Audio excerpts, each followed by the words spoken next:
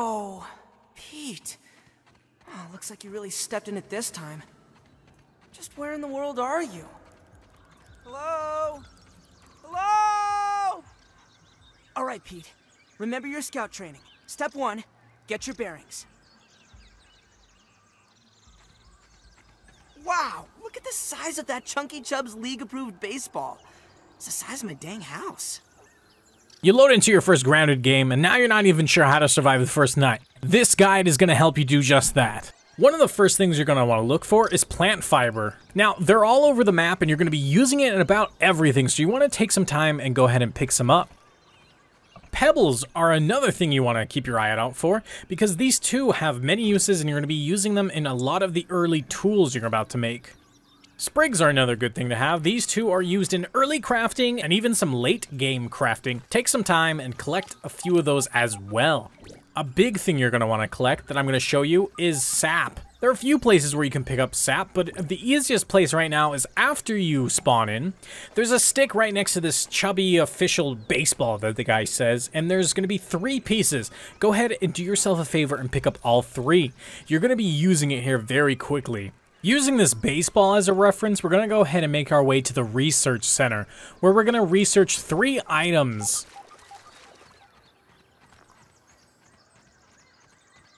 The first item is sap.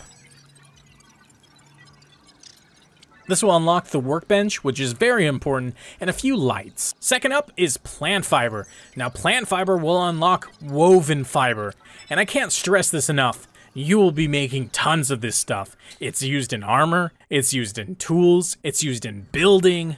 I think you get the idea. It's pretty important. Last on the list is the pebble. You're going to be using this to make the pebble axe, a pebble hammer, a spear, and it's also used for building. Now's the time to go into your inventory to use some of the woven fiber, sprigs, and pebbles to make yourself a pebble axe. After you have the axe in your hand, go ahead and do yourself a favor and craft from your inventory a pebble spear. You're going to be using this in the next 10 feet. As you continue down this path, you'll see a red insect over another insect. That's going to be a lawn mite. Now, for this, I believe they're trying to train you, and it's a one hit to kill. That's not the case. It's usually two. The other insect is called a gnat. They're very annoying, will buzz around you just like in real life, and unfortunately, this one happens to be dead. Go ahead and pick it up because that's meat on the ground for you. Yeah, that's how you feed yourself. Find a good place, we're about to build the workbench. Go ahead and hit B, and navigate with the arrows until you see the actual workbench icon you will see now an actual blueprint of the workbench. Go ahead and place that down anywhere you want. It's going to need a few things to be built. One of the new items you're going to see is grass planks. Now, how do you get those? Don't worry, I have you covered. That pebble axe I had you make in the beginning, you're going to use that to go ahead and cut yourself down a blade of grass. In this game, those are essentially trees. Cut it down, add it to the workbench, they need some sprigs, and a few pieces of sap. One of the next things you're going to want to do is go ahead and build a house. As you see here, you will also be met with blueprints so you can lay out your house way before having to build anything and destroy it later. In this early access, one thing I would highly recommend is to build the door first. For some reason, if you build the walls before the door, sometimes the door won't be able to connect where you're actually trying to put it, and now you have to rip everything up and do it again. So with this, doors first. It's also good practice to have at least two doors. Sometimes you don't know what's going to be happening at the front of the house, and you're going to want to have another exit just in case. Building is simple enough. You're going to go ahead and use that pebble axe to cut down some more blades of grass. You can pick up five blades of grass at one time, and you're going to go ahead and use your interact key to build up your walls. Doors are a little different, and you're going to need a few more materials than just blades of grass. So go ahead, give it a few blades of grass, woven fiber, which can be crafted in your inventory under materials, and a new item you probably haven't seen, weed stems. Well, now how do you get that? Don't worry, I also have you covered. What you're going to go ahead and look for are dandelions. They look like this. They're not random on the map, so as you play more, you'll get used to where they are, and you're going to go ahead and chop these bad boys down, and that's how you're going to use them. There you go, just put them in your door and done. Now, if you want a window, windows are the same way in regards that they need weed stems. So you just chop down more weeds or pick some up if you have extra and just slap that bad boys in and you're done.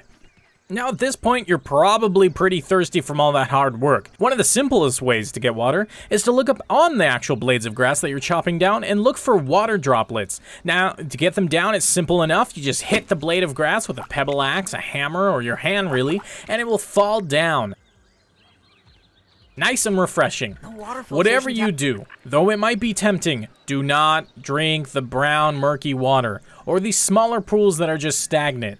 Now, they do give you hydration, but they will dramatically decrease your hunger. Idea. So if you're caught in a pinch, sure, go ahead and drink them. I recommend just always finding alternatives.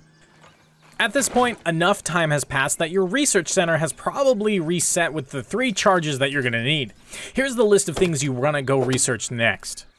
First on the list is analyzing a clover. Now, a clover will give you a clover poncho, clover shin guards, a clover hood, roof, roof corner, and roof interior corners. Now, we're really doing this for focusing on the armor, not so much the building materials, but they are a bonus if you definitely want to build a roof tonight. Next up is woven fiber. Like I told you guys, you're going to be using this a lot. So if you haven't made a bunch in excess, go ahead and make yourself some. This will unlock the acorn shovel, which is very handy, and this is more the reason why we're doing this. The eye patch is a bonus, and that will give you attack speed, but I would recommend staying with the clover hood, as the set bonus for the armor makes it so that you're not as hungry and thirsty all the time. But hey, if you want attack speed, it's there for you guys. Last up is the sprig. Now, when you go ahead and research the sprig, this will make a spiky sprig. Now this is a good early weapon, but you will be replacing this pretty quickly. It's entirely up to you if you make this or not, because the next best weapon is called the Ant Club. It's not too hard to make, but you're gonna have to go attack some ants, which is definitely not something you probably are gonna wanna do on the first night. Maybe in day two. Once you head back to base, you'll be able to craft your armor at the workbench, and here you'll see that the clover hood needs some clovers and woven fibers. There it is, folks. Yet again, you see my dilemma. Woven fiber equals everything. So, seriously, if you haven't listened to my advice yet, make yourself some of this in, in advance because you're going to be using it here on out. Clover Poncho just needs some clovers, and that thing you're always going to be out of, woven fiber, and lastly, the shin guards needs clovers, woven fiber, and sprigs. Pretty simple. So before you're about to just run out and start taking names, know that you have to equip the armor first. It does not automatically equip on you, and you'll have to do that from your inventory. Like we saw in the research center that you can use the clovers here to make a storage container. That's how you make the parts for the roof. But the biggest thing next that you're going to want to focus on is the clover lean-to. This bad boy is how you're going to set your spawn, so in the event that you die, unfortunately, you can get back right into the protection of your house and all your supplies, as well as sleep for the night. You might have noticed that it says sleeping hours are between 2000 and 0600. Now, that's in military time. In not military time, that's 8 p.m. and 6 a.m. So feel free to sleep between any of those times. If you miss the time window, then unfortunately it's the next day and you just gotta keep playing. One of the next things you could think about making with Clover is the storage container. This game allows custom markings and colors, so it's really helpful to keep your stuff organized and out of the way. It's good for keeping extra resources as well out of your inventory and safely back at the house. I usually like to make a storage container for plants. I picked the leaf icon and the closest color to green that we got. It's not really dark green, but hey, it's close enough. And that's where I know I keep all of the extra plant materials. And as day one is starting to come to an end, a roasting spit is going to be something you're going to want to make. It's super simple, you just need a few pebbles, some sprigs, and some dried grass, which can all be found around the map, so it shouldn't be too hard to find. Remember that gnat meat that you picked up earlier today? Yeah, well, you can go ahead and interact with it and cook it. As you see, when it's cooking, the whole bar is rotating, and when it's ready for you to eat, it just simply stops. That's your cue to pick it up and eat it. Mmm, tasty. Chewy, maybe? That's disgusting. But now, as you look in and try to turn for the night, you see that, uh-oh. Hey, it's still a little too early. Now, I know what you're thinking. Do I have to check the lean-to every time to know that it's time to go to bed? No, the game actually has something really cool. When it turns 8 o'clock, the entire hotbar and inventory turns from red to green, almost like night vision, and this green lets you know that it's time to sleep the night away.